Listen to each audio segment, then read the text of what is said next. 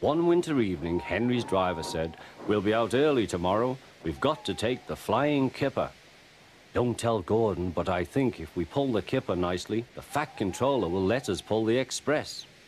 The special coal they gave you is working well. Hurrah! cried Henry. That will be lovely.